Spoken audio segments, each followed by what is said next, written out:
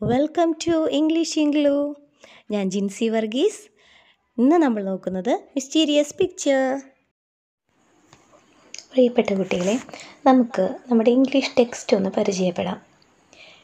Kerala reader English standard eight part one അപ്പോൾ ഒരു part ടൂവും കൂടി ഉണ്ട്. നമുക്ക് പാർട്ട് വണ്ണിൽ എന്തൊക്കെ വരുന്നുണ്ട്?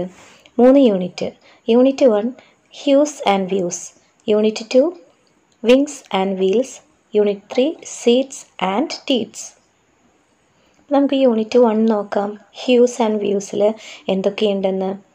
പ്രോസും ഉണ്ടാവും. പോയംസും ഉണ്ടാവും. പ്രോസ് എന്ന് പറഞ്ഞാൽ ഗത്തി രൂപത്തിലുള്ള വർക്കുകൾ പോയംസ് എന്ന് പറഞ്ഞാലോ പത്തി രൂപത്തിലുള്ള വർക്കുകൾ പ്രോസിൽ ദ മിസ്റ്റീരിയസ് പിക്ചറാണ് നമ്മൾ ഇന്നിവിടെ പഠിക്കാൻ പോകുന്നത്. മിസ്റ്റീരിയസ് പിക്ചർ അതായത് നിഗൂഢതയുള്ള ഒരു ചിത്രം. ചില ചിത്രങ്ങൾ നിങ്ങൾ കണ്ടിട്ടുണ്ടല്ലേ? നിഗൂഢതയുള്ള ചിത്രങ്ങൾ അതുപോലെ ഒരു ചിത്രത്തിന്റെ കഥയാണിത്. The mysterious picture let's read a story from the legend of the glorious adventures of Till Eulenspiegel അപ്പോൾ ഈ സ്റ്റോറി എടുത്തിട്ടുള്ളത് the legend of the glorious adventures of Till Eulenspiegel എന്ന് പറഞ്ഞ ഒരു കൃതിയിൽ നിന്നുമാണ്. ചാൾസ് ഡിക്കോസ്റ്റർ എന്ന ഒരു ബെൽജിയൻ റൈറ്ററാണ് ഈ കൃതി എഴുതിയിട്ടുള്ളത്. ഈ കൃതിയിലെ ഹീറോ ആണ് നമ്മുടെ ടിൽ യുലൻ സ്പീക്കൽ. നമുക്ക് അദ്ദേഹത്തെ ടിൽ എന്ന് വിളിക്കാം. പാഠത്തിലേക്ക് കടക്കാം. Till in the course of his wanderings from court to court rode to the palace of the archduke of Battenberg on his donkey. This is our hero Till Eulenspiegel.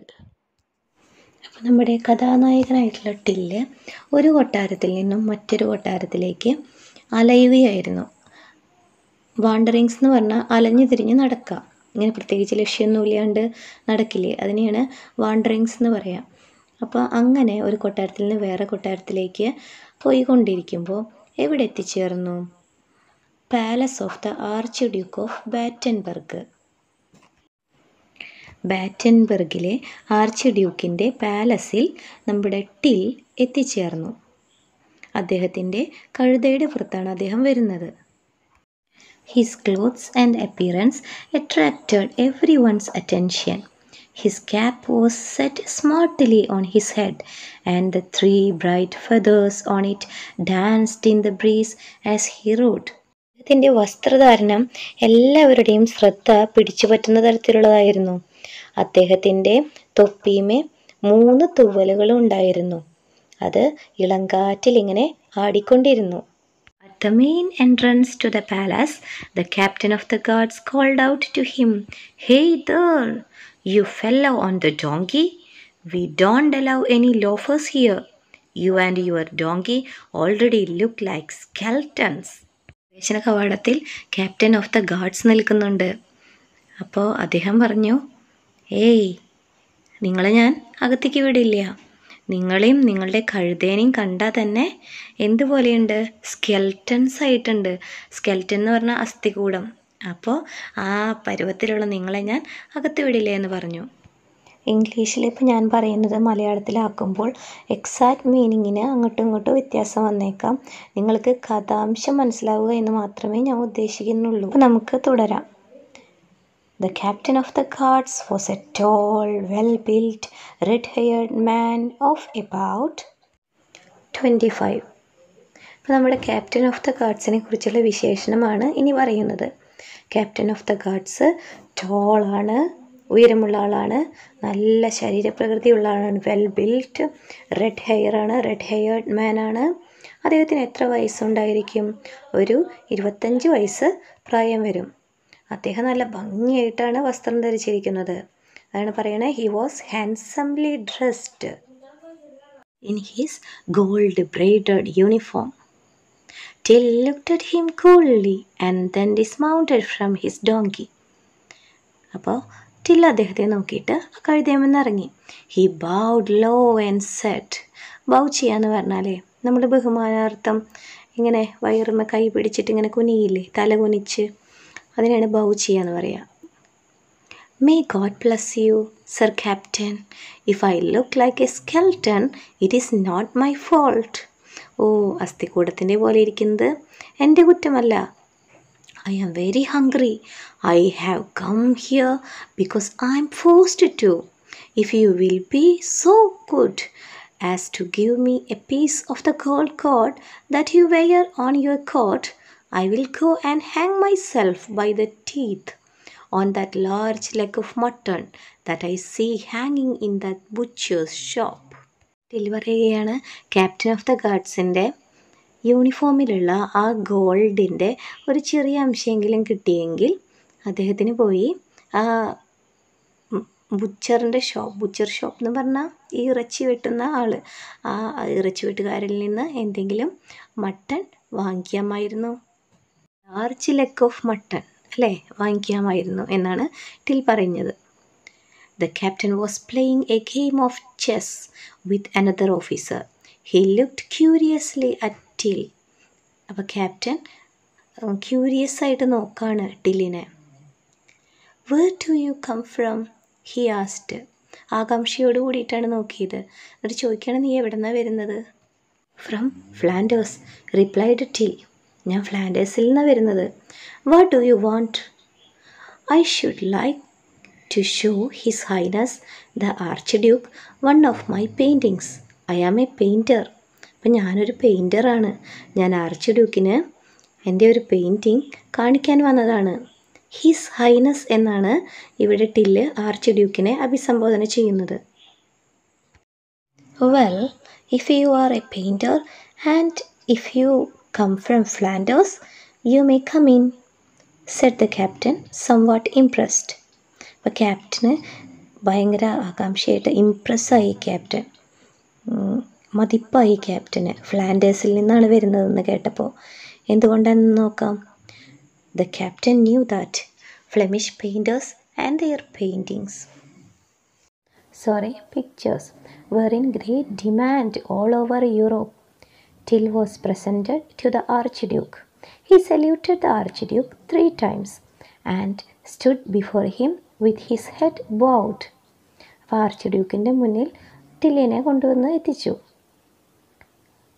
may your highness pardon me for my rashness in thinking that one of my paintings will please your highness ഓ ഞാനിങ്ങനെ തെറ്റിദ്ധരിച്ചതിൽ എന്നോട് ക്ഷമിക്കണം അതായത് എന്റെ ഒരു painting അങ്ങയെ സന്തുഷ്ടപ്പെടുത്തും എന്ന് ഞാൻ വിചാരിച്ചു. I have brought a picture of our lady the virgin in her royal robes അപ്പോൾ ഇദ്ദേഹം ഒരു പെയിന്റിങ് കൊണ്ടുവന്നിട്ടുണ്ട്. കൊണ്ടുവന്നിട്ടുള്ളത് our lady the virgin in her royal robes ആണ്. ഒരു our ലേഡിയുടെ picture I have painted it specially so that I might lay it at your noble feet ഇദ്ദേഹത്തിന് കാഴ്ചവെക്കാനാണ് അത് കൊണ്ടുവന്നിട്ടുള്ളത് till paused a few moments for his words to sink in. Then he continued, You must forgive me, Your Highness, if I have dared to hope that this picture will please you. Perhaps Your Highness might wish to offer me the chair of your court painter who died recently ഇപ്പോൾ ഈ അടുത്ത് കൊട്ടാരത്തിലത്തെ coat painter മരിച്ചിട്ടുണ്ട്. അപ്പോൾ ആ സ്ഥലത്തേക്ക് ആ പ്ലേസിലേക്ക് ടില്ലിനെ തിരഞ്ഞെടുക്കുമെന്ന് വിചാരിച്ചിട്ടാണ് till ഈ ലേഡി വെർജിന്റെ പടം കൊണ്ട് അവിടെ വന്നിട്ടുള്ളത്. The virgin's picture was a splendid painting and the archduke made up his mind at once അപ്പോൾ ആർച്ച് ഡ്യൂക്കിന് നല്ല ഇഷ്ടമായി അപ്പോൾ ആർച്ച് ഡ്യൂക്ക് ഇദ്ദേഹത്തെ കോർട്ട് പെയിന്റർ ആക്കാനായിട്ട് തീരുമാനിച്ചു He embraced and kissed him on both cheeks. He said, I shall be delighted to make you my court painter. Made up his mind എന്നുള്ളത് ഒരു ഫ്രേസാണ് തീരുമാനിച്ചു എന്നാണ് അതിന്റെ അർത്ഥം he directed him to the chair and made him sit on it well my dear fellow he said you do have a tongue in your head and you certainly seem to know how to use it you are a very talkative fellow aren't you ഓ നിനക്ക് നന്നായി സംസാരിക്കാൻ അറിയാമല്ലേ? എന്ന് പറയുകയാണ് രാജാവ്. രാജാവല്ല നമ്മുടെ archduke. ആരോട്? നമ്മുടെ ടില്ലിനോട്. You are a very talkative fellow N you എന്നത് വളരെ ശ്രദ്ധിക്കണം. അതൊരു ക്വസ്റ്റ്യൻ ടാഗിന്റെ പ്രയോഗമാണ്. ഇവിടെ നോക്കൂ യു ആർ എന്നത് ക്വസ്റ്റ്യൻ ടാഗ് ആകുമ്പോൾ എന്തായി മാറി? എൻ യു ആയി മാറി. Your highness might please you to remember me and my donkey Jeff. അപ്പോൾ നമ്മുടെ ടില്ലിന്റെ ഡോങ്കിയുടെ പേരാണ് Jeff. J E F F. For just one more minute Till replied. My donkey has been feeding himself fairly well all along the way on the thorns in the hedges. In the grass on the roadside. അപ്പോൾ ഡോങ്കിക്ക് അവിടുന്ന് ഇവിടുന്നൊക്കെ ഭക്ഷണം കഴിക്കാനായിട്ട് കിട്ടിയിട്ടുണ്ട് but I have had nothing to eat for the past three days പക്ഷേ മൂന്ന് ദിവസമായിട്ട് ഞാൻ പട്ടിണിയാണ് my stomach has been complaining very loudly perhaps your highness can even hear it now. Your highness എന്ന് പറയുന്നത് നമ്മുടെ ആർച്ച് ഡ്യൂക്കിനെയാണ്. അതായത് കിങ് എന്നും പറയാം വേണമെങ്കിൽ. I have been feeding myself with dreams of good food and dream at your royal table. അപ്പോൾ ഇദ്ദേഹം എന്താണ് ആഗ്രഹിക്കുന്നത് നമ്മുടെ ടില്ല്? നല്ല ഭക്ഷണവും നല്ല ഡ്രിങ്കും ഒക്കെ കിട്ടുന്നതാണ് ആഗ്രഹിക്കുന്നത്. The archduke smile and said well My dear fellow, you will certainly have something more solid than dreams to feed on. But where is your donkey? I left him outside opposite the palace. അപ്പോൾ ഇദ്ദേഹം ഡോങ്കിയെ കുറിച്ച് ചോദിക്കുകയാണ് I shall be most grateful if Jeff is looked after he needs a little fodder and lodging at night Settle. The immediately ordered the donkey to be taken care of and he added treat it like one of my own animals sorry treat it like one of my own animals അപ്പോൾ നമ്മുടെ Jeff അതായത് ടില്ലിന്റെ കു കഴുത കഴുതയെയും കൂടി രാജാവിന്റെ ഒരു ആനിമലായിട്ട് അതിന് ഭക്ഷണമൊക്കെ കൊടുത്ത് ശുശ്രൂഷിക്കാനായിട്ട് രാജാവ് ഏൽപ്പിച്ചു. രാജാവ് എന്ന് പറഞ്ഞാൽ നമ്മുടെ ആർച്ച് ഡ്യൂക്ക് ഓഫ് ബാറ്റൻബർഗ്. അങ്ങനെ നമ്മുടെ ടില്ലും ടില്ലിന്റെ ഡോങ്കിയായ ജെഫും രാജകൊട്ടാരത്തിൽ ആർച്ച് ഡ്യൂക്കിന്റെ പാലസിൽ നല്ല സുഭിക്ഷമായി കഴിയാൻ തുടങ്ങി. കഥ ഇവിടെ കഴിഞ്ഞിട്ടില്ല. ഇതൊരു ലെങ്തി സ്റ്റോറി ആയതുകൊണ്ട് ഇത്രയും ഭാഗം മതി നമുക്ക് ഫസ്റ്റ് പാർട്ടായിട്ട് അപ്പോൾ നിങ്ങൾക്ക് സെക്കൻഡ് പാർട്ട് വേണമെന്നുണ്ടെങ്കിൽ നിങ്ങൾ വീഡിയോയുടെ അടിയിൽ കമന്റ് ചെയ്യുക. സെക്കൻഡ് പാർട്ട് വേണമെങ്കിൽ മാത്രം കമന്റ് ചെയ്താൽ മതി. അപ്പോൾ ഇന്നത്തേക്ക് വിടാം.